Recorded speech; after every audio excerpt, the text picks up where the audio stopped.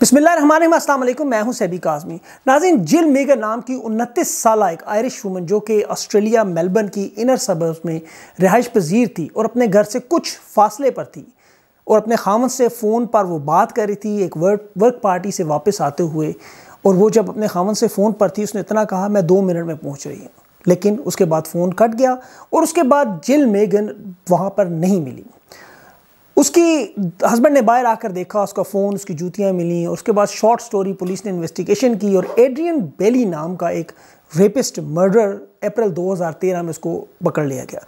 इससे पहले भी वो इस तरह की कुछ हरकतें कर चुका था, जो कि नोटिस में नहीं आई थी, कुछ उसमें रिपोर्टेड नहीं हुई थी और पुलिस उस पर काफ़ी अरसे से काम करती रही। अगर आप ऑस्ट्रेलियन स्टेटिस्टिक्स को देखें तो इस वक्त ऑस्ट्रेलिया में जो रेप केसेस हैं रिपोर्टेड केसेस हैं, वो इस वक्त बहुत हाईएस्ट नंबर है। 92 लोग, बानवे लोग एक लाख लोगों में से शामिल है। 15 से 25 परसेंट रेप के केसेस रिपोर्ट ही नहीं होते। इसी तरह अगर आप अमेरिका के स्टेटिस्टिक्स देखें तो 2016 में नेशनल क्राइम विक्टिमाइजेशन सर्वे करवाया गया, जिसमें उन्होंने तमाम लोगों से बात की। तो पता चला कि लोग सेक्सुअल असॉल्ट के ये केसेस रिपोर्ट ही नहीं करते। इसकी मिसाल चार लाख इकतीस हज़ार आठ सौ चालीस इंसिडेंट जो हुए थे रेप के 2015 में। जिनकी रिपोर्ट ही नहीं हुई और वो उस पर डाटा इकट्ठी करते रहे। अगर आप फ्रांस की बात करें तो फ्रांस में हर दस में से एक औरत का जो है वो रेप हो चुका है। 2167 में 12 परसेंट औरतों ने जो कि उस पोल में शामिल थी, जीन जोरस थिंक टैंक नामी 2018 में उन्होंने कराया तो उन्होंने कहा कि रिपोर्ट्स में इजाफा 17 परसेंट से हो रहा है 2017 और 2018 में। और ये बात न्यूयॉर्क टाइम ने भी रिपोर्ट की। इंडिया की अगर बात करें तो तैंतीस हज़ार तीन सौ छप्पस केस छप्पन केसेज 2018 में नेशनल क्राइम ब्यूरो ने रिपोर्ट की है। और ये वो केसेस हैं जो कि रिपोर्टेड हैं। आपको पता है कि वहाँ पर अभी छियासी साल औरत का एक बहुत बड़ा केस इसी हफ़्ते में हुआ है। और हम ये वो वो केसेस की बात नहीं करते, जो रिपोर्ट ही नहीं होते, उनकी कोई पता नहीं कितने तादाद है। मेरा दिन उन लोगों के लिए, उन बच्चों के लिए, जो जो इस फैमिलीज़ में अल्लाह माफ़ करे, इस सिचुएशन में जाते हैं, अल्लाह ताला किसी को ये दिन ना दिखाए, उन सबको अल्लाह ताला जो है वो महफूज रखे। आप जो चाहे पहने, आप जिसके साथ जाएँ, अकेले जाएँ फैमिली के साथ जाएँ, जिस तरह चाहें, आप डिज़र्व करते हैं।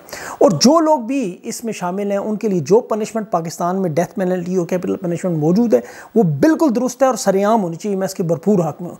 किसी सूरत में भी इस इशू को पाकिस्तान के नाम से ना जोड़ा जाए। मेरी ये दरख्वास्त है आप लोगों से जो बार बार पोस्ट को शेयर करते हैं। आप देखें कि हमारे मुल्क में नंबर्स बहुत कम हैं। अभी 2020 की जो रेप की जो लिस्ट आई है, जिसमें पूरी दुनिया के नाम लिखे हुए लेटेस्ट लिस्ट है, मेरे साथ साथ विंडो में चल रही होगी, उसमें पाकिस्तान का नाम ही मौजूद नहीं है। और ये नहीं कह रहे हम कि पाकिस्तान में ये काम नहीं होता। आपको पता है हर किसी न किसी दिन इस रिपोर्ट्स आती हैं। बहुत सारे जगह पर इस तरह के आपको केसेस नज़र आते हैं। लेकिन अब जब हम F A T F case की तरफ़ जा रहे हैं तो ये प्रोपोगेंडा स्टार्ट हुआ है। और ये सिर्फ़ और सिर्फ़ बार बार C P O C P O C P O की गर्दान करते करते पोलिटिकल गेम बना ली गई है। सोशल मीडिया पर प्रेशर क्रिएट करना हमारा हक है और फ़र्ज़ है करना भी चाहिए। लेकिन इस प्रेशर के चक्कर में आपको पता है, पुलिस अपनी प्रेशर में आकर जस्टिफिकेशन देने के लिए जल्दी जल्दी इसको प्रोसेस को तेज़ करती है। उसमें बाज़त बेगुनाह लोग पकड़े जाते हैं जो मान लेते हैं हमने किया है और जो असल कल्परेट है वो कहीं छुपा रहता है।